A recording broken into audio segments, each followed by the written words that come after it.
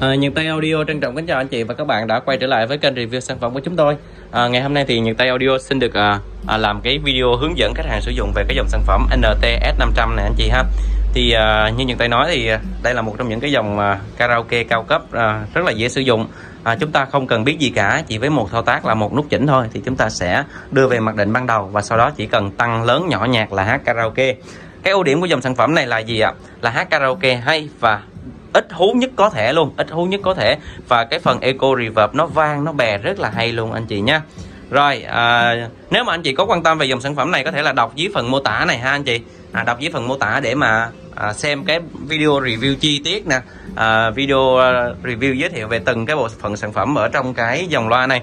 À, rồi à, ngay bây giờ thì chúng ta sẽ cùng à, à đến với phần hướng dẫn sử dụng ha rồi thì à, sử dụng thì cũng dễ thôi. Thì việc đầu tiên thì anh chị à, khi à, mà chúng ta mua sản phẩm này về thì có một cái cái dắt cắm nguồn ở đằng sau thì anh chị chúng ta cắm nguồn vào ha. Cắm nguồn ở đằng sau cái dây nguồn vào thì nó sẽ lên điện hết tất cả ba bộ phận này. Thì ngay bây giờ thì những tay sẽ tiến hành tắt đi và mở lại từ đầu cho anh chị và các bạn chúng ta à, được biết cái cách sử dụng đúng cách ha. Nó rất là dễ thôi. Rồi đầu tiên mua về chúng ta cắm điện vào. Sau khi cắm điện vào chúng ta sẽ bắt đầu mở từ trên xuống dưới mở từ trên xuống dưới. Rồi đưa cái nấc này ha. Đưa cái nấc này ở cái nấc à, nấc giữa trước cái đã nấc ở giữa trước ha. Rồi sau khi đưa cái nấc ở giữa xong thì bắt đầu chúng ta sẽ bắt đầu à, à, tiến hành kết nối bluetooth nè. Thì à, khi về thì chúng ta cái việc đầu tiên thì chúng ta chỉ cần nhấn user 1 đi trước tiên cái đã ha bấm user 1 rồi sau khi bấm user 1 rồi chúng ta thấy là bây giờ nếu như mà anh chị muốn kết nối bluetooth thì anh chị lưu ý là user 1 những tay đang để mặc định là Bluetooth ha. À, user 2 là cũng là Bluetooth nè nhưng mà nó sẽ khác về cái cái equalizer là cái ở user 2 này nó sẽ hát âm thanh nó nó có tiếng chép hơn sáng tiếng hơn ha. Còn user 1 thì hát nó đỡ hú hơn. Nếu mà thằng user 2 thì à, nếu mình mở lớn quá thì nó sẽ có khả năng là bị hú nhưng mà mở nhỏ nhỏ thì chúng ta có thể là dùng user 2 để mà nghe âm thanh micro cái tiếng chép nó sáng hơn ha. Còn cái user 3 thì nhà tay đang để à, uc 3 thì nhiều tay đang để ở cái tivi cổng quang ha. Tức là cái cổng quang là cổng à, TV tivi quang học đời mới của mình bây giờ đó ha. Thì chúng ta cắm cái cổng quang này vào cái tivi ha. muốn lấy âm thanh của tivi giả sử như tivi này nó có một cái cổng quang à, được chưa? Nó có cái cổng quang còn à, sau khi chúng ta cắm cổng quang từ cái tivi vào à, cắm cái cổng quang từ tivi vào thì chúng ta sẽ đầu còn lại của nó thì chúng ta sẽ cắm ở đằng sau cái con vang số này. À, đằng sau vang số này có có những cái cổng nó ghi rất là rõ luôn. À, optico nè đây là obt là optico ha. Là ở user 3 thì chúng ta sẽ lấy âm thanh từ cái cổng optico này. Còn user 4 thì nó lấy ở cái cổng input input 1 là input 1 là gì? Là cái cổng AV hoa sen. À, cái cổng AV hoa sen màu đỏ màu trắng. Giả sử như cái tivi của mình nó không có cái uh, cái uh, cái cổng quang đi nó chỉ có có cái cổng 3.5 thôi. Có cái dây line 3.5 thôi. Thì khi mà chúng ta muốn kết nối thì dùng một cái đầu 3.5 đó ha ra hai đầu AV cái đầu này. Đầu này là đầu 3.5 nè. Được chưa? Đầu này là gọi là đầu 3.5 ra hai đầu AV màu đỏ, màu trắng. Đây gọi là đầu màu đỏ trắng. Đây, input một nó là cái dây này, ha. Giả sử như là cái tivi của mình nó chỉ có cộng 3.5 cổng à, ra âm thanh thì nó cổng này.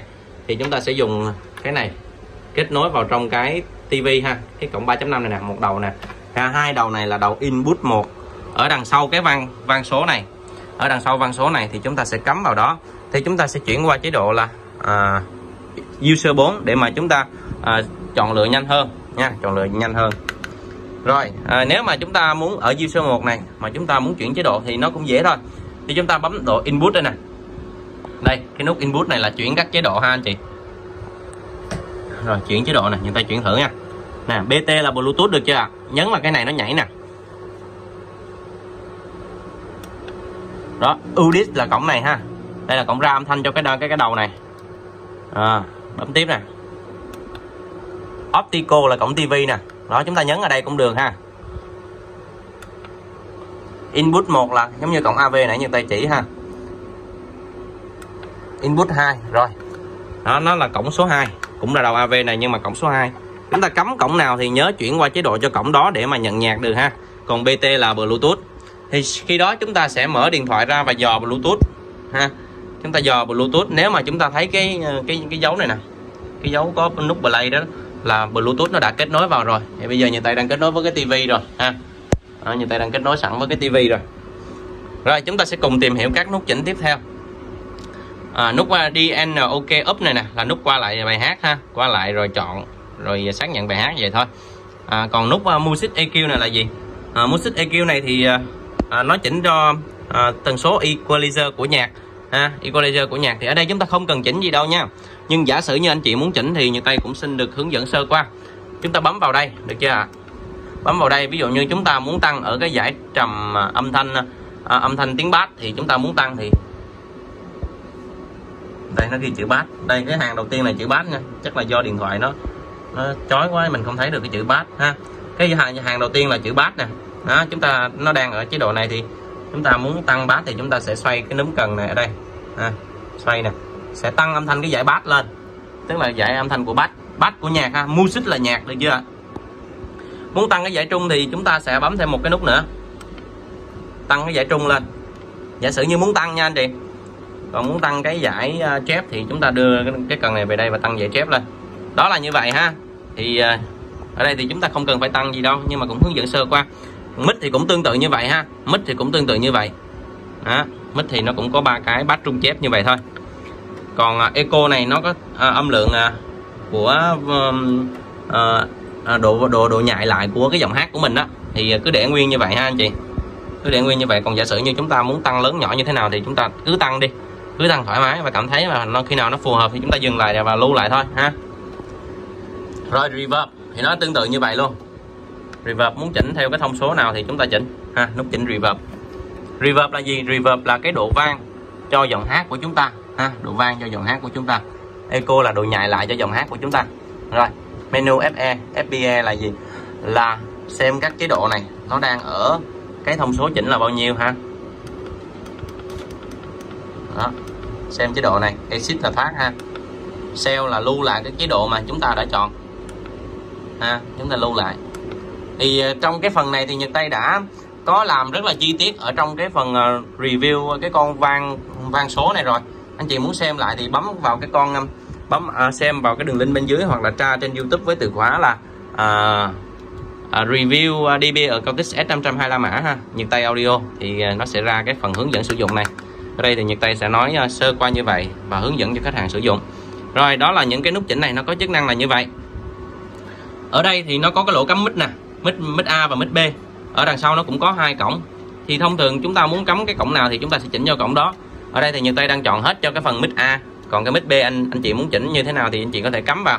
Hoặc là cắm micro có dây hoặc là không dây vào đằng trước hoặc đằng sau đều được cả ha. Còn hai cái núm xoay này là à, cái âm lượng cho mic A. Cái này là âm lượng cho mic B ha. Lớn nhỏ thì chúng ta tăng ở đây. Rồi còn đây là ba cái nút chỉnh chính ở đây thì à, khi mà chúng ta mua về sử dụng thì chỉ cần nhấn UC1, UC2, UC3 hoặc UC4 gì đó chúng ta sẽ tăng cái âm lượng effect. Effect. Effect này là gì? Là cái à, âm thanh độ vang echo và reverb được gọi chung được làm chung cho một cái nấm xoay gọi là effect. Effect này là chúng ta văng tăng chỉnh lên cái nấc nào chúng ta à, khi mà tăng chỉnh thì số nó nhảy ha. Nhưng mà thường thì chúng ta sẽ để ở 40 hoặc là cao lắm là 45 hoặc 50 thôi. Mid Ừ, mít là chỉnh âm thanh cho micro nha. Đó, chúng ta xoay này thì mà cái bên micro nó nhảy nè. Đó. còn music là nhạc. À, tăng âm lượng lớn nhỏ của nhạc. Rồi. Đây là cái ờ, công tắc nguồn ha công tắc nguồn. Và nếu mà chúng ta muốn chỉnh cái này qua thông qua máy tính thì chúng ta sẽ cắm ở đây. À có cái cổng này đầu này. Cắm vào đây. Đầu còn lại cắm vào trong cái lỗ cắm ờ, cái ờ, cổng USB ha. Thì chúng ta sẽ chỉnh được cái equalizer của cái dòng văn số này trên cái máy tính. Thì như tay cũng có video hướng dẫn luôn rồi. Anh chị nào có xem thì muốn xem chi tiết thì à, bấm ở bên dưới có đường link mô tả ha. Có ghi rất là rõ luôn. Anh chị bấm vào tham khảo chi tiết hơn. Còn về cái micro. Về cái micro thì à, anh chị lưu ý nè. Khi mà chúng ta mua micro này về thì nó cùng tần số. Cùng tần số như thế này thì nó mới có tiếng. Giả sử như đây là 180 được chưa? 180 giả sử như nó nó bị mất tần số là nó không có tiếng đâu ha. Nè 180 nè. Cái này 180 nhưng mà cái này ví dụ như là nó là 181 thì nó sẽ không có tiếng đâu. Buộc phần là uh, cái cây bên này là nó sẽ thuộc bên này ha. Còn cái cây bên kia cái cây bên kia thì nó sẽ là của bên này ha. Nó phải khác tần số nhưng mà trùng tần số ờ, với nhau thì nó mới có tiếng được. Thì nếu mà bị mất như vậy thì chúng ta có thể là dò lại bằng cách mà chúng ta sẽ thao tác. Đối với lại những cái đối với lại cái micro à, chưa bị khóa thì chúng ta chỉ việc là nhấn cái nút này. Nó hiện chữ IR rồi sau khi hiện chữ IR thì chúng ta sẽ đưa cái cái chỗ này nè cái này nè vào cái cái chấm màu đỏ này ha. Nè quay lại. Rồi như vậy là nó đã có sóng rồi nè. Ly 67 đó thì khi đó thì chúng ta mới có tiếng được nha anh chị. Chúng ta lưu ý. Thì sau khi chỉnh xong rồi những tay sẽ khóa lại khóa lại ha. À, anh chị à, bấm từ từ sẽ thấy chữ lóc chữ lóc xong chúng ta bấm nút lên. Ha chữ lóc xong chúng ta bấm nút lên. Là chúng ta bấm ở giữa để xác nhận rồi. Chúng ta mở khóa nè. Hướng dẫn anh chị mở khóa luôn. Thì nếu mà sau khi khóa rồi thì chúng ta sẽ không chỉnh được gì cả. Bấm lên bấm xuống không được. Nó hiển thị một chữ lóc thôi. Thì khi đó chúng ta phải nhấn nhấn cái nút ở giữa một cái ha. Mở khóa là ở giữa lên. Đó nó lock on nháy nè đúng không ạ? Ở giữa lên cái là lock on nó nháy bấm xuống.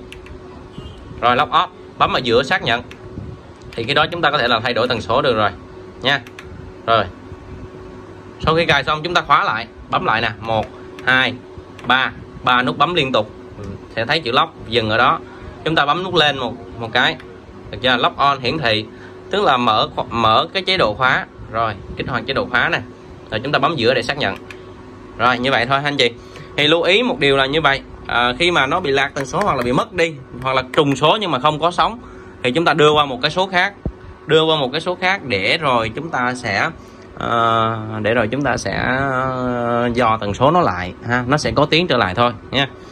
Còn ở đây thì có cái nấm núm xoay hai bên là âm lượng cho mỗi cây ha. Chúng ta muốn cái cây nào lớn hơn thì chúng ta có thể là xoay riêng cho cái cái con vàng số này nha. Rồi còn ở cái con dòng này thì à, dòng sản phẩm này là mã số là NT S500 ha. Thì à, khi mà nếu mà giả sử như ở nhà mà chúng ta muốn hát hết cỡ thì chúng ta vặn hết cái núm xoay này lên được chưa? Hết cái này à, là lên rồi chúng ta sẽ đưa cái micro nè nó về khoảng chừng tầm à, 50 à, 45 thôi tầm 45 hoặc là 5 4 đó. Thì chúng ta sẽ hát. Nhạc này thì tầm 50 thôi thì như vậy thì chúng ta sẽ hát karaoke một cách lớn nhất ha. Chứ chúng ta đừng có tăng lớn nữa. Lớn nữa thì nó sẽ không có tốt cho cái cái máy của mình đâu ha. Cái nào cũng vậy thì chúng ta sử dụng cần phải có điều độ nhé nếu mà sử dụng quá thì không có đồ nào gọi là còn hết đâu ha anh chị. Rồi thì đây là một trong những cái video mà Nhật Tây hướng dẫn cho khách hàng sử dụng. Ha, hướng dẫn cho khách hàng sử dụng. Khách hàng thì ở xa còn Nhật Tây thì ở tại thành phố Hồ Chí Minh. Nên là sẽ hướng dẫn như vậy ha. Còn cái vấn đề gì chưa biết thì uh, anh chị có thể là kết bạn Zalo. Anh Nhật Tây à, sẽ hướng dẫn anh chị bằng cách là gọi điện video gặp trực tiếp anh chị trên cái à, à, Zalo luôn. Rồi anh chị muốn muốn muốn hỏi cái gì hoặc là chưa hiểu cái gì thì Nhật Tây sẽ tư vấn cũng như là giải thích như là hướng dẫn anh chị sử dụng nha. Rồi thì video của Nhật Tây tới đây xin được tạm ngưng. À, anh chị cảm thấy hay và hữu ích thì mong anh chị và các bạn hãy đăng ký kênh và bấm nút like video này để, để ủng hộ cái món quà tinh thần cho Nhật Tây ha à, xin được à, tạm ngừng lại video này. Cảm ơn anh chị đã quan tâm theo dõi. Xin kính chào và hẹn gặp lại anh chị trong những video review tiếp theo. Bye bye.